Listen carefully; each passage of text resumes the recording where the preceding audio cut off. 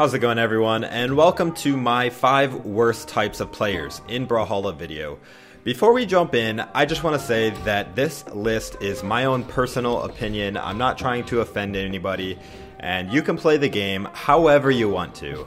Also, feel free to drop comments and let me know if you agree or disagree with my list. At number 1, we have The Spammer. This is probably the most obvious and talked about type of player in Brawlhalla. We've all encountered this person, we've all complained about this type of person, and at one point in our Brawlhalla career, we probably were this person. The spammer is the type of person who likes to repeat the same one or two moves over and over and over again, regardless of if it is working to win the game or not. This person usually is just a new player to the game, hasn't yet learned that spamming is typically predictable and easier to punish than if they were using a wide variety of attacks. However, you may encounter the spammer even in higher ranks of gameplay, though once you get to platinum or diamond rank, this type of person typically goes away because of the weaknesses to the playstyle. So, what is it about this player that makes them so bad?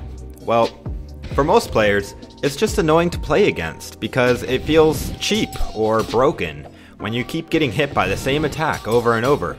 Even more so because you know you should be good enough to not let the spammer win. And if you lose, you may find yourself in a salt induced coma of rage. No matter how you look at it, nobody likes fighting a spammer. Is it a viable strategy in the game? I guess. Is it good enough to get you to Diamond? Maybe? Are you gonna have any friends once you get there? Probably not. At number two, we have the Wall Hugger. Ah, uh, yes, the Wall Hugger. This is the type of person who loves going for offstage kills, typically with scythe, gauntlets, or any other weapon they feel like being the god of gimps with. They love offstage fighting so much, they will jump on the wall over and over without coming back onto the stage, waiting for you to leave your place of safety and dominance, hoping you will jump off and attack them instead. Thankfully, BMG nerfed wall hugging so that you can only jump on the wall so many times before it becomes slippery and eventually you fall. But it can be still annoying even today. The wall hugger may be going for clips, they may be going for style, maybe they're just scared of coming back on the stage to fight you. Either way, wall hugging is annoying, and that is why it makes the list of the worst type of players in Brawlhalla. At number 3, we have the rude person slash the BMer slash the sore loser slash the sore winner. So, this type of player can exhibit a wide variety of characteristics, such as taunting excessively, insulting or harassing other players in post game chat, attacking during opening salute. You get the picture. They just don't care that you're another human being trying to enjoy a video game. Their goal is to make you miserable and uninstall the game. Okay, maybe I'm being too dramatic here. Most BMers aren't that goal oriented, they just don't care whatsoever about the other human beings that play the game with them. You may as well be a CPU to them.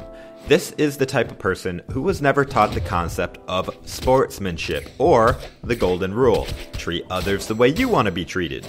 Now, I realize that sometimes when people are going through hard times in life, or under a lot of stress, they can sometimes exhibit the behavior of the BMer. We've probably all been there, or we will be at some point in our lives. When you encounter a BMer, the worst thing you can do is fight fire with fire, because the more you do that, the more likely you will end up becoming that very thing you dislike in the first place. Instead, kill them with kindness and move on. The Brawlhalla community is only as good as we make it together. If you are a victim of extreme harassment, however, I recommend that you report the player. We don't need toxicity in this game or its community. At number 4, we have the Throw Pro. The Throw Pro is a type of person who relies heavily on throwing their weapon at you as a way to start a combo or string, or even just to mess you up for a second. The Throw Pro is very confident in their ability to fight unarmed because they don't care if they lose their weapon when they're throwing it at you constantly. Now, to be fair, the Throw Pro is probably the least offensive type of player on this list because throwing your weapon can be a very effective strategy to win games, not only for new players but even in the pro scene. The difference between a pro and a throw pro is how often this move is used in a match. I don't think most players mind if someone throws their weapon every now and then. It's when the throwing becomes like spamming that it starts to ruin the fun. But Lucian, I can play the game however I want. Yes, you can play the game however you want, but keep in mind, as with spamming in general, weapon throw spamming is actually not that great of a strategy because it becomes predictable and it can leave you weaponless.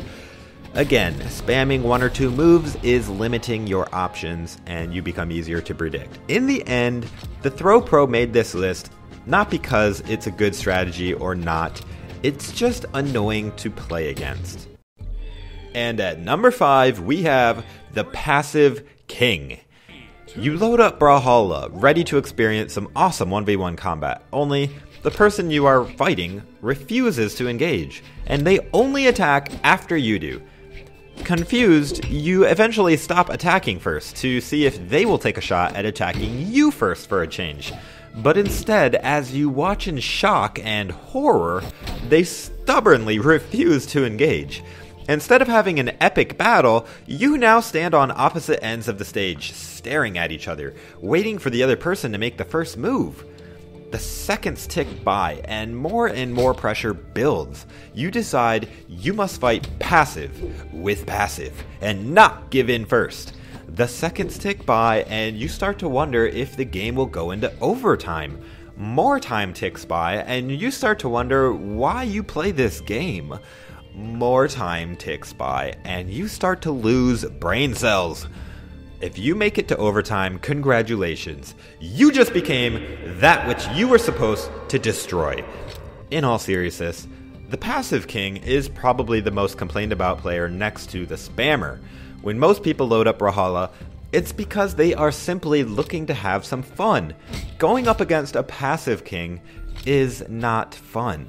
Now, I can't completely hate on the Passive King because, after all, they are just trying to do what they think is the best way to win the game.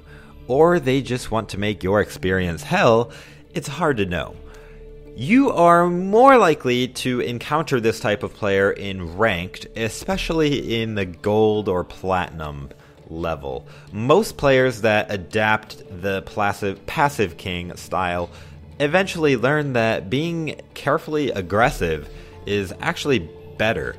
Oddly enough, the Throw Pro is actually a viable counter to the Passive King because the Passive King likes to have a little bit of distance between players.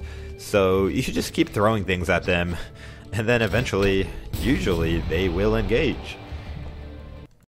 Alright, guys, and that is my five worst types of players in Brawlhalla. I just want to reiterate I'm not trying to call anybody out. I'm sure most of us have been one or all of these types of players at some point. I think that we're all just trying to have some fun, and sometimes we forget that. You know, Brawlhalla is a fighting game, and fighting games are competitive in nature. Nobody likes to lose. Just remember, it's only one button press to say GG at the end of the match. We're all in this together. We are a small community, us brawlers. We need to stick together if we want to survive and continue to grow and invite new players to the game, which in turn helps the developers make more money, which in turn makes the game even better for all of us to enjoy. Thank you guys so much for taking the time to watch this video. I make Brawlhalla content all the time, so I invite you to subscribe if you haven't already. You may like my future videos too. Did you guess all the types of players that made my list? Did I miss one? Do you disagree with me? Let me know in the comments below. As always, guys, this is Lucian Sword. I hope to see you in the next video. Take it easy, guys.